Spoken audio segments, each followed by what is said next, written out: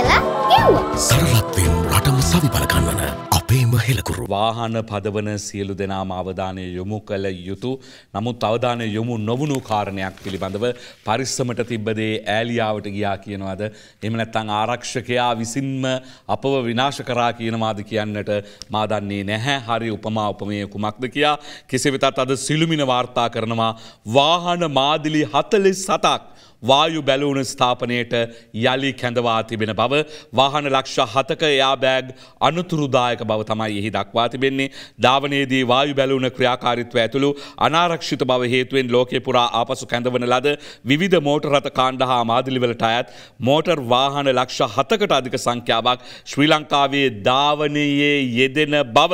මෝටරත ප්‍රවාහන කොමසාරිස් ජනරාල් නිශාන්ත අනුරුද්ධ වීරසිංහ මහතා සඳහන් කරනවා. ඉතින් ලෝකයේ ආපසු කැඳවා තිබෙන වාහන ලක්ෂහතකට අධික සංඛ්‍යාවක් ලංකාවේ කිසිදු බාධාවකින් තොරව ධාවනය විමින් පවතිනවා. වායු බැලූන ක්‍රියාකාරිත්වේදී රියදුරාට මාරන්තික විය හැකි වර්ගේ මෝටරත ඇතුළු සුපිරි ජී ප්‍රතද මෙසේ මහමාර්ගේ ධාවනය වන බව තහවුරු වී තිබෙන බවත් නිෂ්පාදන දෝෂ සහිත නිසාම කාණ්ඩයන්ට ඇත් වාහන ලෝකයේ සෙසු රටවල ආපසු කැඳවා ඒවායේ වායු බැලූුණ යළි සකස් කර ඇතත් මෙරට එම කාණ්ඩයන්ට ඇත් වාහන කිසිදු පරීක්ෂාවකින් තොරව ධාවනය වන බව තහවුරු වී තිබෙනවා. මෙවන විට වාහන ආනයනික ඒජන්ත සමාගම් විසින් අදාල් අවදානම් කාණ්ඩ සහිත වාහන හිමිකරුවන් සම්බන්ධ විස්තර තම දෙපාර්තමේන්තුවෙන් ලබාගෙන එම වාහන යළි කැඳවීමට පීවර ගනිමින් සිටින බවත් කොමසාරිස් ජනරාල්වරයා සඳහන් කරනවයි කියලයි අද සිළුමින ප්‍රධාන සිරස්තලය ඔස්සේ වාර්තා වන්නේ. ඉතින් වායු බැලූ නවදානම් සහිතව වාහන ධාවනය ඉතාමත් අනුතුරුදායක බවත් ඔහු වැඩදුරටත් සඳහන් කරනවා. මොටරත් ප්‍රවාහන දෙපාර්තමේන්තුවේ සහකාර කොමසාරිස්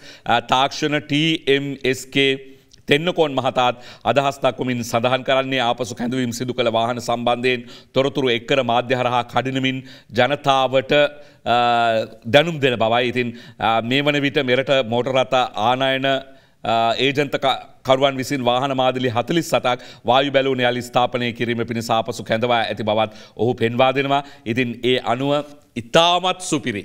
මේ සාමාන්‍ය වනවේ ඉතාමත් සුපිරි වාහනවල නම් සහ ඒවාවල කාණ්ඩ සහිතව මේ කොට සතලිස් සතාද සිළුමින පුවත් පතේ සවිස්තරවම දක්වා තිබෙනවා. ඉතින් ඔබට සිල්මින පුවත් පත ප්‍රධාන සිරස්තලය කියවා බැලීමේදී අප හිතන්නේ නැති තරම් සුපෝපභෝගේ ලෝකයේ තිබෙන්න්න වූ ඉතාමත් ඉහල සන්නාමයන් සහිත වාහන තමයි මේ ගොන්නට ඇතුළත් වී තිබෙන්නේ.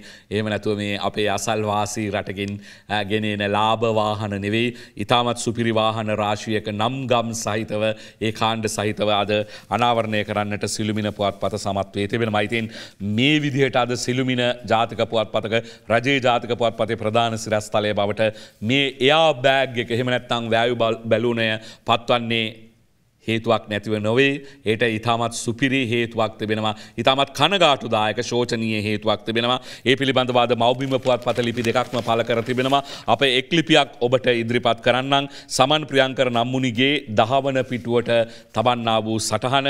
දේශප්‍රේමී නැනෝ විද්‍යාඥයාගේ රතයේ සැඟවී සිටි එයා බෑග් මාරයා කියල තමයි හි දක්වා තිබෙන්නේ. උපන්දේශය හදවතින්ම වැළඳගත් තවත් දේශප්‍රේමිකුගේ හදිසි වියෝවක් වාර්තා වුණා. පසුගේ පස්වන වනදා හිමිදිරියේදී ඔහු නමින් ආචාර්ය විමුක්ති ජයවීර නැනෝ තාක්ෂණ විද්‍යා විෂය පිළිබඳව හසල දැනුමක් තිබූ මේ විද්‍යාඥා සුළුපටු ආචාරය නොවන ආචාරවරයකු නොවන බව සඳහන් කළ යුතුයි. ඔහු විශ්වීය වශයෙන් ඉතාමත් ඉහල තැනක සිටින්නා වූ විද්වතෙක්.